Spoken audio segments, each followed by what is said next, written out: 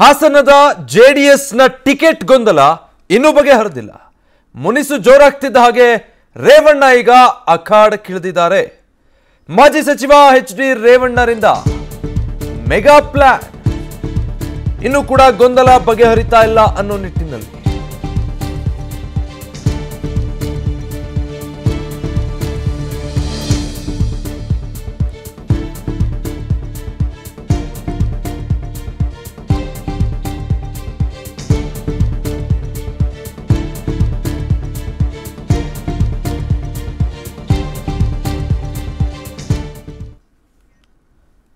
ಹಾಗಿದ್ರೆ ಏನ್ ಪ್ಲಾನ್ ಮಾಡಿದ್ದಾರೆ ಎಚ್ ಡಿ ರೇವಣ್ಣ? ಹಾಸನದಲ್ಲಿ ಯಾರು ಬೇಡ. ನಾನೇ ನಿಲ್ತೀನಿ ಅಂತ ರೇವಣ್ಣ ಹೇಳಿದ್ದಾರೆ. ಇಬ್ಬರಿಗೂ ಬೇಡ, ನಾನೇ ನಿಲ್ತೀನಿ ಅಂತ ಹೆಚ್ ಡಿ ರೇವಣ್ಣ ಹೇಳಿರೋದು. ಎರಡು ಕಡೆ ಮಾಜಿ ಸಚಿವ ರೇವಣ್ಣ ಸ್ಪರ್ಧೆ ಮಾಡೋದಕ್ಕೆ ನಿರ್ಧಾರ ಮಾಡಿದ್ದಾರೆ. ಕುಮಾರಸ್ವಾಮಿಯನ್ನ ಭೇಟಿ ಮಾಡಿದ್ದಾರೆ ಇದಕ್ಕೆ ಸಂಬಂಧಪಟ್ಟ ಹಾಗೆ. ಪುತ್ರರು ಮಾಜಿ ಸಿಎಂ ಕುಮಾರಸ್ವಾಮಿ ಪಟ್ಟು ಸಡಿಲಿಸ್ತಾ ಇಲ್ಲ. ಈ ಹಿನ್ನೆಲೆಯಲ್ಲಿ ಈ ರೀತಿಯಾದಂತಹ ನಿರ್ಧಾರ ತೆಗೆದುಕೊಂಡಿದ್ದಾರೆ ಅನ್ನುವಂಥದ್ದು. ಎರಡು ಕಡೆ ಸ್ಪರ್ಧೆ ಮಾಡೋದಕ್ಕೆ ಮಾಜಿ ಸಚಿವ ಎಚ್ ಡಿ ರೇವಣ್ಣ ಪ್ಲಾನ್ ಮಾಡಿದ್ದಾರೆ. ಏನೇ ಪ್ರಯತ್ನ ಪಟ್ಟರೂ ಕೂಡ ಇದು ಬಗೆಹರಿತಾ ಇಲ್ಲ. ಹೀಗಾಗಿ ಹಾಸನದಲ್ಲಿ ಯಾರು ಬೇಡ, ನಾನೇ ನಿಲ್ತೀನಿ ಅಂತ ಹೇಳ್ತಿದ್ದಾರೆ. ಭವಾನಿ ರೇವಣ್ಣನು ಬೇಡ, ಸ್ವರೂಪ್ ಗೌಡಗೂ ಟಿಕೆಟ್ ಬೇಡ. ಹಾಸನದಲ್ಲಿ ಯಾರು ಬೇಡ. ಎರಡೂ ಕಡೆ ನಾನೇ ಸ್ಪರ್ಧೆ ಮಾಡ್ತೀನಿ. ಇಬ್ಬರಿಗೂ ಟಿಕೆಟ್ ಕೊಡೋದು ಬೇಡ ಅನ್ನೋ ರೀತಿಯಾಗಿ ಅವ್ರು ನಿರ್ಧಾರ ಮಾಡಿರೋದು ಅಂತ. ಆ ಮೂಲಕ ಒಬ್ಬರಿಗೆ ಟಿಕೆಟ್ ಕೊಟ್ಟು ಮತ್ತೊಬ್ಬರು ಅಸಮಾಧಾನಕ್ಕೆ ಒಳಗಾಗಿ ಅದು ಫಲಿತಾಂಶದ ಮೇಲೆ, ಪಕ್ಷದ ಮೇಲೆ ಪರಿಣಾಮ ಬೀರೋದು ಬೇಡ ಅನ್ನೋ ನಿಟ್ಟಿನಲ್ಲಿ.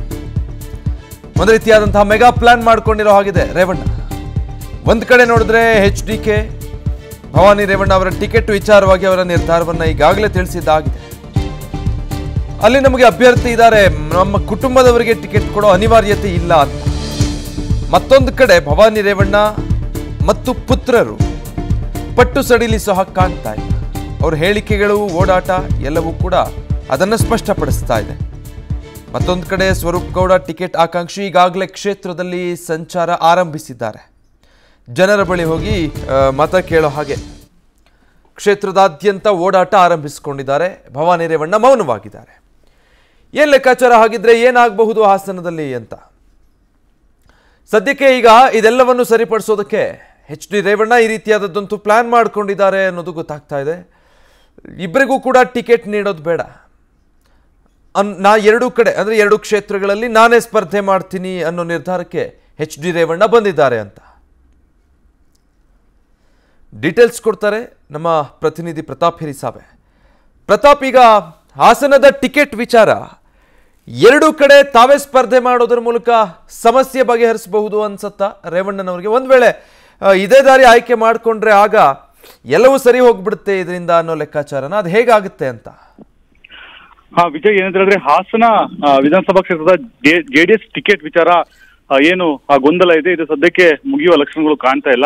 ಒಂದು ಈಗಾಗಲೇ ಕುಮಾರಸ್ವಾಮಿ ಅವರು ಸ್ಪಷ್ಟಪಡಿಸಿರುವಂತದ್ದು ನಾನು ಯಾವುದೇ ಕಾರಣಕ್ಕೂ ನಮ್ಮ ಕುಟುಂಬದಿಂದ ಬೇರೆ ಯಾರನ್ನು ಕೂಡ ಸ್ಪರ್ಧೆಗೆ ಇಳಿಸೋದಿಲ್ಲ.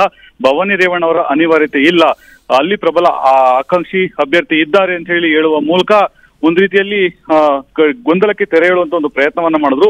ಅದಾದ ಬಳಿಕ ರೇವಣ್ಣ ಅವರು ಕೂಡ ಸುದ್ದಿಗೋಷ್ಠಿ ನಡೆಸಿ, ರೇವಣ್ಣ, ಎಚ್ ಡಿ ಮಾಜಿ ಸಿಎಂ ಎಚ್ ಡಿ ಕುಮಾರಸ್ವಾಮಿ ಅವರದೇ ಫೈನಲ್ ಅವರೇ ಅವರ ನಿರ್ಧಾರವೇ ಹಾಸನ ಜಿಲ್ಲೆಯ ಏಳು ವಿಧಾನಸಭಾ ಕ್ಷೇತ್ರಗಳನ್ನ ನಿರ್ಧಾರ ಮಾಡುತ್ತೆ ಅಂತ ಹೇಳಿದ್ರು. ಇದಾದ ಬಳಿಕ ಭವಾನಿ ರೇವಣ್ಣ ಅವರು ಕೂಡ ಆ ಕ್ಷೇತ್ರದಲ್ಲಿ ಆ ಓಡಾಟ ಮಾಡೋದನ್ನ ಕಡಿಮೆ ಮಾಡಿ, ಆ ಸೈಲೆಂಟ್ ಆಗಿದ್ರು. ಅದ ಜೊ, ಜೊತೆಗೆ ಮತ್ತೊಬ್ಬ ಪ್ರಬಲ ಟಿಕೆಟ್ ಆಕಾಂಕ್ಷಿ ಸ್ವರೂಪ ಕೂಡ ಕ್ಷೇತ್ರದಾದ್ಯಂತ ಪ್ರಚಾರವನ್ನ ಮಾಡಿ ಮತದಾರರನ್ನ ಮನವೊಲಿಸುವಂತ ಒಂದು ಕೆಲಸವನ್ನ ಮಾಡ್ತಾ ಇದ್ರು. ಈ ನಡುವೆ ಎಚ್ ಡಿ ರೇವಣ್ಣ ಮತ್ತೆ ಸೂರಜ್ ರೇವಣ್ಣ ಮತ್ತೆ ಪ್ರಜ್ವಲ್ ರೇವಣ್ಣ ಈ ಮೂವರು ಕೂಡ ಮಾಜಿ ಸಿಎಂ ಎಚ್ ಡಿ ಕುಮಾರಸ್ವಾಮಿ ಅವರನ್ನ ಭೇಟಿ ಮಾಡಿ ಟಿಕೆಟ್ ಅನ್ನ ಭವಾನಿ ರೇವಣ್ಣ ಅವರಿಗೆ ಕೊಡ್ಬೇಕು ಅಂತ ಹೇಳಿ ಒತ್ತಾಯ ಮಾಡ್ತಾರೆ.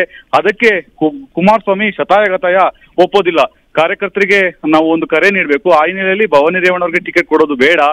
ನಾನು ಸ್ವರೂ ಎಚ್ ಎಸ್ ಪ್ರಕಾಶ್ ಅವರ ಪುತ್ರ ಎಚ್ ಪಿ ಸ್ವರೂಪ್ ಅವರಿಗೆ ಟಿಕೆಟ್ ಕೊಡೋದು ನಿರ್ಧಾರ ಮಾಡಿದ್ದೀನಿ ಅಂತ ಹೇಳಿ ಅವರಿಗೆ ಹೇಳ್ತಾರೆ. ಅದ, ಇದಕ್ಕೆ ಏನು ಈ ಎಚ್ ಡಿ ಕುಮಾರಸ್ವಾಮಿ ಅವರ ಸ್ಟೇಟ್ಮೆಂಟ್ಗೆ ಒಂದ್ ರೀತಿಯಾಗಿ ರೇವಣ್ಣನವರು ಬೇರೆ ರೀತಿಯಾದಂತ ಪ್ಲಾನ್ ಅನ್ನ ಶುರು ಮಾಡ್ಕೊಂಡ್ರು ಅಂದ್ರೆ ಒಂದ್ ರೀತಿ ಹಾಸನ ಕಾರ್ಯಕರ್ತರಲ್ಲಿ ಸ್ವರೂಪ ಅವ್ರಿಗೆ ಕೊಟ್ರೆ ಭವಾನಿ ರೇವಣ್ಣ ಬೆಂಬಲಿಗರು ಕೆಲಸ ಮಾಡೋದಿಲ್ಲ. ಭವಾನಿ ರೇವಣ್ಣ ಅವ್ರಿಗೆ ಕೊಟ್ರೆ ಸ್ವರೂಪ ಅವ್ರ ಬೆಂಬಲಿಗರು ಕೆಲಸ ಮಾಡೋದಿಲ್ಲ. ಈ ನೆಲೆಯಲ್ಲಿ ಎರಡು ಕ್ಷೇತ್ರಗಳನ್ನ ನಾನು ಗೆಲ್ಬೇಕಾಗಿದೆ. ಒಂದ್ ಕಡೆ ಒಳನರಸೀಪುರ ಮತ್ತೊಂದ್ ಕಡೆ ಹಾಸನ. ಹಾಸನ ಈಗಾಗಲೇ ಹಾಲಿ ಶಾಸಕ ಪ್ರೀತಂ ಗೌಡ್ರು ರೇವಣ್ಣ ಕುಟುಂಬದವ್ರಿಗೆ ಆ ಚಾಲೆಂಜ್ ಅನ್ನ ಹಾಕಿರುವಂತದ್ದು ಸಂತಾಪವನ್ನ ನೀಡಿ. ಎಚ್ ಡಿ ಎಚ್ ಡಿ ರೇವಣ್ಣನವರೇ, ಹಾಸನ ವಿಧಾನಸಭಾ ಕ್ಷೇತ್ರಕ್ಕೆ ಬಂದಿ ಸ್ಪರ್ಧಿ ಐವತ್ತು ಸಾವಿರ ಓಟ್ನಲ್ಲಿ ನಾನು ಗೆಲ್ತೇನೆ ಅಂತ ಚಾಲೆಂಜ್ ಅನ್ನ ಹಾಕಿರುವಂತದ್ದು. ಈ ಎಲ್ಲ ಆಯಾಮಗಳಲ್ಲಿ ಎಚ್ ಡಿ ರೇವಣ್ಣ ಅವರು ಯೋಚನೆ ಮಾಡಿ, ನಾನೇ ಎರಡು ಕಡೆ ಸ್ಪರ್ಧೆ ಮಾಡ್ಬೇಕು ನಿರ್ಧಾರ ಮಾಡಿದ್ದಾರೆ ಅಂತ ಹೇಳಿ ಆ ತಿಳಿದುವಂತದ್ದು ಒಂದ್ ಕಡೆ ಈಗಾಗಲೇ ಹಾಸನ ವಿಧಾನಸಭಾ ಕ್ಷೇತ್ರದಲ್ಲಿ ಒಕ್ಕಲಿಗರ ಸಮಾಜದಲ್ಲಿ ಬರ್ತಾವೆ ಒಂದು ಮತ್ತೆ ಮುಳ್ಳು ಈ ಪಟ್ಟಿ ಆಧಾರದ ಮೇಲೆ ಜೊತೆಗೆ ಕಾರ್ಯಕ್ರಮ ಆಧಾರದ ಮೇಲೆ ಎನ್ನ ಎಲ್ಲ. ಹಿನ್ನೆಲೆಯಲ್ಲಿ ಮತ್ತೆ ಮಾತಾಡಿಸ್ತೀನಿ. ಹಾಗೆ ಸಂಪರ್ಕದಲ್ಲಿರಿ. ಇದೇ ವಿಚಾರಕ್ಕೆ ಸಂಬಂಧಪಟ್ಟ ಹಾಗೆ ಅಂದ್ರೆ ಹಾಸನದ ರಾಜಕಾರಣಕ್ಕೆ ಸಂಬಂಧಪಟ್ಟ ಹಾಗೆ ಮತ್ತೊಂದು ಅಪ್ಡೇಟ್ ಲಭ್ಯ ಆಗ್ತಾ ಇದೆ. ಹಾಸನ ಜಿಲ್ಲೆಯಲ್ಲಿ ಮಾಜಿ ಸಚಿವ ಎಚ್ ಡಿ ರೇವಣ್ಣಗೆ ಬಿಗ್ ಶಾಕ್ ಎದುರಾಗಿದೆ. ಇವತ್ತು ಜೆಡಿಎಸ್ ತೊರೆದು ಕಾಂಗ್ರೆಸ್ ಸೇರಲಿದ್ದಾರೆ ಕಾರ್ಯಕರ್ತರು. ಡಿ ಕೆ ಸುರೇಶ್ ಸಮ್ಮುಖದಲ್ಲಿ ಕಾಂಗ್ರೆಸ್ ಸೇರ್ಪಡೆಯಾಗ್ತಿದ್ದಾರೆ ಜೆಡಿಎಸ್ನ ಕಾರ್ಯಕರ್ತರು. ಹೊಳೆನರಸೀಪುರ ಪುರಸಭೆ ಮಾಜಿ ಅಧ್ಯಕ್ಷ ಪುಟ್ಟರಾಜು, ಮಾಜಿ ಸದಸ್ಯ ಗಂಗಾಧರ್, ಕುಮಾರ್ ಕಾಂಗ್ರೆಸ್ ಸೇರ್ಪಡೆಯಾಗ್ತಾ ಇರುವಂಥದ್ದು. ಸುಮಾರು ಒಂದು ಸಾವಿರ ಜೆಡಿಎಸ್ನ ಕಾರ್ಯಕರ್ತರು ಕಾಂಗ್ರೆಸ್ಗೆ ಸೇರ್ಪಡೆಯಾಗ್ತಿದ್ದಾರೆ. ಅಷ್ಟೆಲ್ಲ ಬೆಳವಣಿಗೆಗಳು ಒಂದ್ ಕಡೆ ಆದ್ರೆ ಇದು ಮತ್ತೊಂದು ರೀತಿಯ ಶಾಕ್.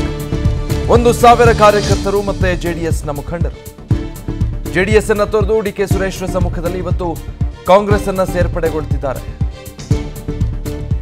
ಚುನಾವಣೆ ಹತ್ತಿರ ಇರೋ ಸಂದರ್ಭದಲ್ಲಿ ಜೆಡಿಎಸ್ನ ನಾಯಕರು ಮತ್ತು ಕಾರ್ಯಕರ್ತರು ಈ ರೀತಿ ದೊಡ್ಡ ಸಂಖ್ಯೆಯಲ್ಲಿ, ಅದು ಹಾಸನದಲ್ಲಿ ಜೆಡಿಎಸ್ ಬಿಟ್ಟು ಕಾಂಗ್ರೆಸ್ ಅನ್ನ ಸೇರ್ತಾ ಇರೋದು ರೇವಣ್ಣ ಅವರಿಗೆ ಒಂದು ರೀತಿಯ ದೊಡ್ಡ ಶಾಕ್ ಇದು ಕೂಡ.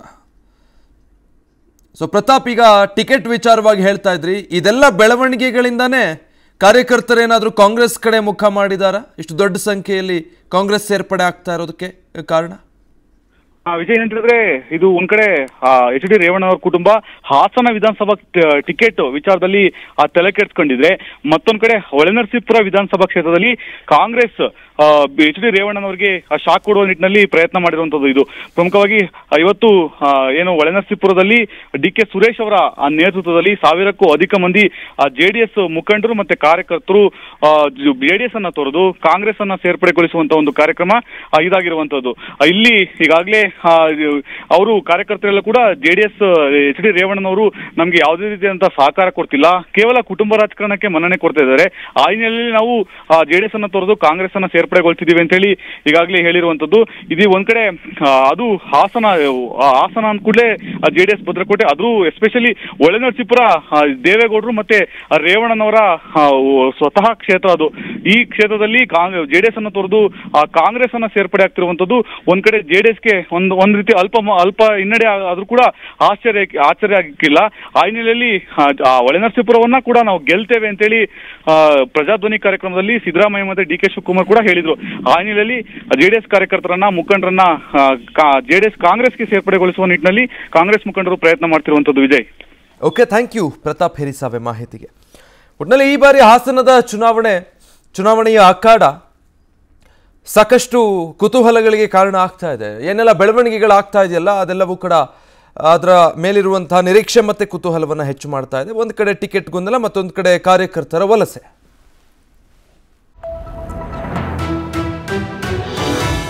ವಿಸ್ತಾರ ನ್ಯೂಸ್ ನಿಖರ ಜನಪರ